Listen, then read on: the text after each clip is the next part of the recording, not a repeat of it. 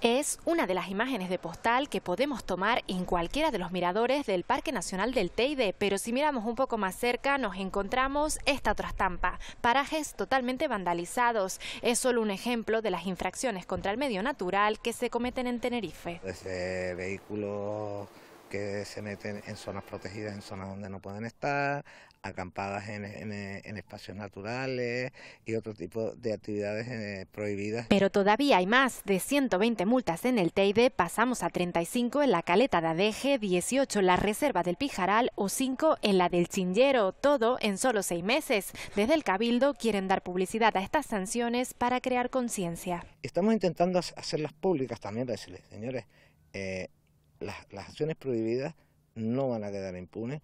Estamos trabajando con todos los medios, con el, con el CEPRONA, con la Policía Canaria, con las policías locales, con nuestros agentes de medio ambiente. Vigilancia y contundencia contra quienes dificultan la protección de los paisajes de la isla.